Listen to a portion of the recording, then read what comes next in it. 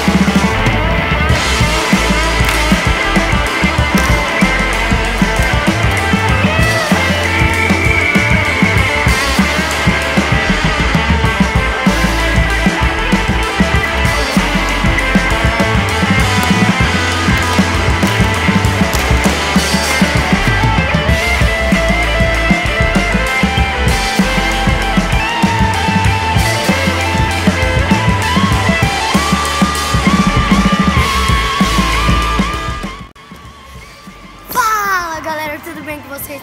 Eu tô aqui no treino de hockey de São Bernardo. Eu tô aqui com o tio alemão. E aí, meu amigo, como você tá, garoto?